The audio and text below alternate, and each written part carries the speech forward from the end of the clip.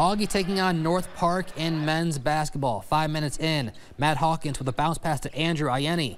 He drives to the basket and off the glass for two. Here come the Vikings. Later, it's Augie's Evan Ambrose to Zach Anderson. He battles through defenders with a nice spin move. Put him in the spin cycle, young fella. Gets the fadeaway to go. Augie down by nine. Then it's Colton Gillingham with a nice pass to Anderson from behind the arc, dialing long range, and he knocks it down, but Augie falls 75 to 55.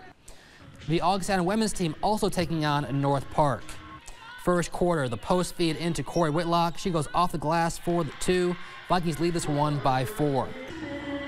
Then Cadence Tatum on the break, the lob inside to Whitlock, and she's on fire early on. Augustana leads it by six. Then it's junior Emma Berg on the wing, and she blows right past her defender and gets the layup to fall. Augustana still up by six at this point. And to finish it off, Kylie DeVore goes off the glass for two more. Augie wins at home 66 to 34.